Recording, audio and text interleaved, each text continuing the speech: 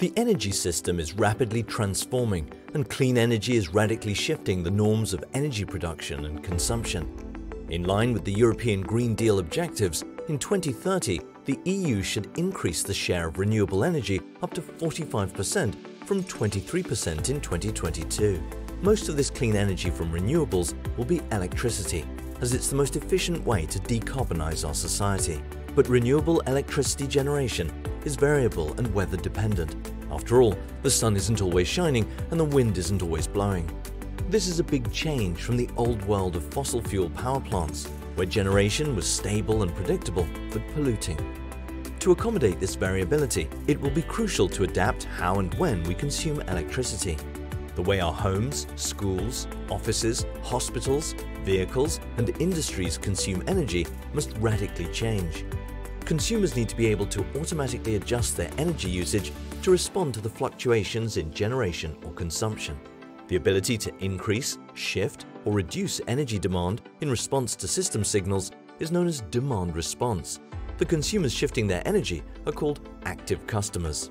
For example, by becoming active customers, households can save lots of money in their electricity bill if they have smart heating devices that adjust their consumption in a flexible way. Conversely, consumers can inject renewable electricity they produce into the system.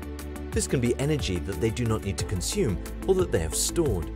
These prosumers can produce and store energy on top of being flexible in their consumption.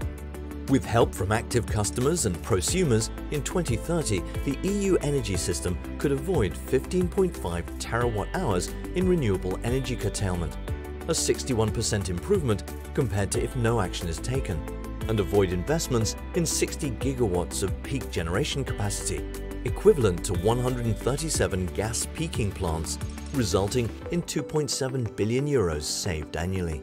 So what does it take to become an active customer or a prosumer? First, consumers need to have distributed energy resources deployed on their sites, such as controllable loads, energy storage facilities, and small-scale renewable generation. However, the mere presence of distributed energy resources is not enough. Consumers must use them in a flexible way, reacting to external signals received from the system. There are two main categories of external signals. Implicit price signals require smart meters and dynamic retail tariffs from suppliers, which are modern price offers to consumers willing to adapt their energy use based on electricity price fluctuations. Explicit incentives often involve an aggregator who works with many customers to pool their flexibility and offer it on various markets from wholesale electricity markets to those set up by transmission and distribution system operators. This helps to balance the grid and solve congestion while rewarding customers for their contribution. For example, an industrial customer using their electric furnace in response to explicit signals for demand response can earn 100,000 euros per year in revenue, providing a competitive advantage over a gas furnace. Through digitalization, consumers can activate their flexibility automatically, ensuring comfort in homes and efficient production for industries. Not only does this benefit consumers, but flexible demand will also optimize electricity distribution networks, saving between 11.1 and 29.1 billion euros annually. While demand-side flexibility can be offered by individuals, it can also come from collectives, such as citizens' energy communities, renewable energy communities, or energy sharing schemes. These participants can adjust their energy use to keep their local district in balance, or choose to adjust their collective consumption and generation if the larger energy system requires it. However, demand-side flexibility is not magic. It requires the support of policymakers to eliminate barriers and create enabling conditions.